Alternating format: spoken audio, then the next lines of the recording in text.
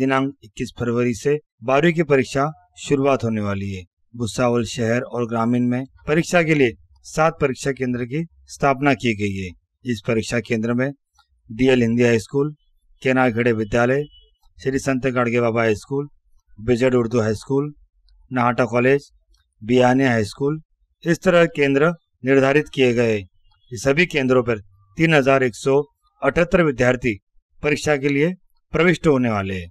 इस परीक्षा केंद्र में किसी प्रकार का अनुचित प्रकार या दिखाई पड़ता है तो उस पर कड़ी से कड़ी कार्रवाई की जाए, ऐसा गट विकास अधिकारी एवं तहसीलदार व जिला स्तरीय पथक के माध्यम से ये जानकारी दी गई है।